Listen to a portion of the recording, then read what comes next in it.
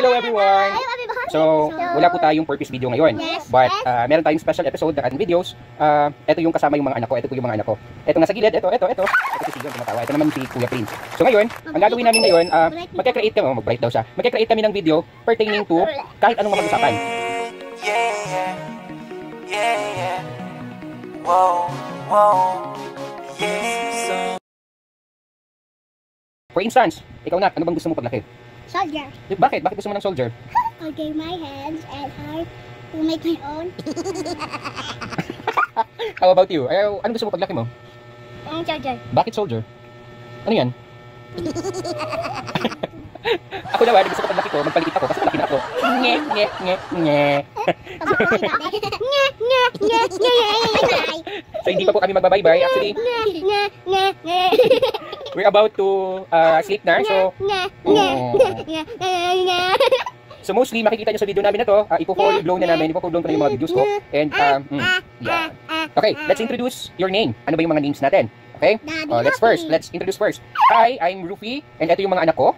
Uh, yan. Ito naman, anong name mo? My my name is Prince Yoro para sa Okay, how old are you? six years old. Six years old. My How about you? Ah, okay. My years.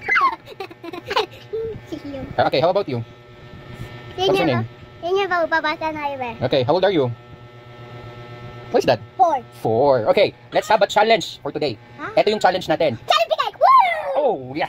Challenge. Okay. Ah, Okay, sit down tayo. Ano? Oh, ano naman yan? Uy, advertise pa talaga. Let's have a challenge. Starting this hour, starting this minute, uh, nobody should talk in Tagalog. Bawal magsalita Why? ng Tagalog. Why? You should speak English. Understood? Yes. You should speak English. If somebody uh, Tagalog. speak Tagalog, what would be the punishment? Ah, Sige, what would be the punishment? If somebody would speak Tagalog. he will be speaking Japanese. Japanese. Arigato gozaimasu. Yun lang yung alam ko sa Japanese, but uh, hindi pa yung count. Uh, arigato. Uh, Ano? Tagalog, bawal, sa, sa Tagalog pa, ah, hindi tayo pwedeng magsalita ng Tagalog. Dapat puro English. So let's start it now. Okay? Already? Okay? Nice. No Tagalog. Understood? Bong Jika. Huh? Bong Jika. Adi Dodger. Adi Dodger. Okay, so we are now having our video. This is gonna be our first video at this very moment, particularly on talking about nonsense things. Why, dude? Because it's gonna be the video and it's going to be a challenge not to talk in Tagalog. What do you say? I don't know. You don't know. How about you? Oh, you said Tagalog. And what would be the punishment? The punishment is munggo na ulo. Oh, you said Bisaya. Tagalog only.